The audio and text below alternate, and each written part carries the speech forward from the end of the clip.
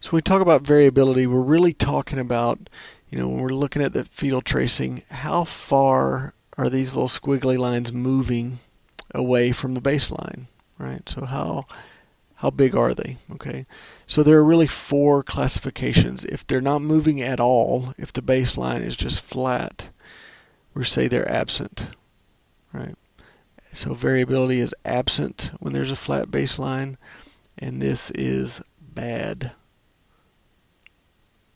You better do something, okay? If the variability, and again, that is just the increase or decrease from the baseline, if the variability is 1 to 5, that's called minimal variability. And minimal variability is caused by uh, hypoxia, again. It is caused by a sleeping baby. And it can be caused by narcotics. All right.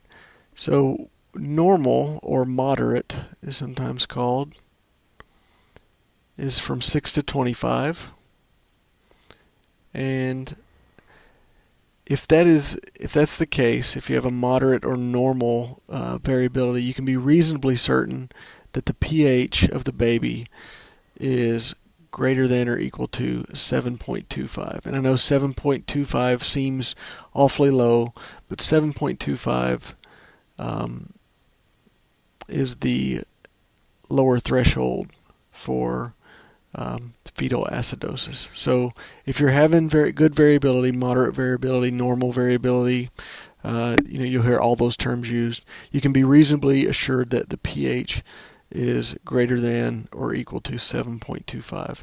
Finally, we have variability of more than 25, and this is called marked or severe